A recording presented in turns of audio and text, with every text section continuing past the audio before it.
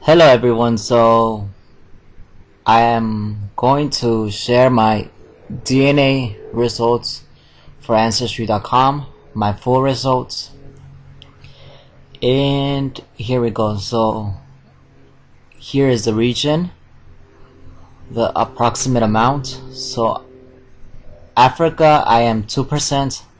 Africa is right here.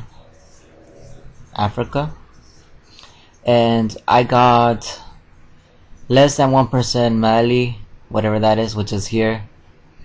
Uh, Africa North, I got less than 1%. I think that means less than 1% it's here. So those are my results for Africa. And for America, which is North America and South America, I got 82%. So I am 82% Native American from America. And Asia, for Asia, I got 2% too. I got Asia East, which is this, less than 2. I got Asia Central, which is here. And I got Asia South, which is this. It's these countries, I guess.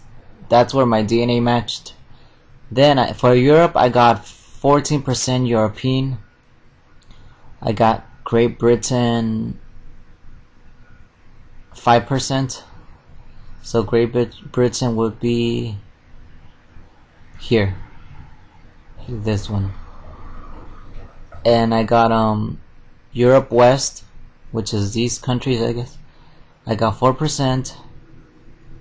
For Iberian Peninsula, I got 3% and for Ireland I got less than 1% for Italy Greece I got less than 1% so these are my results for um, ancestry DNA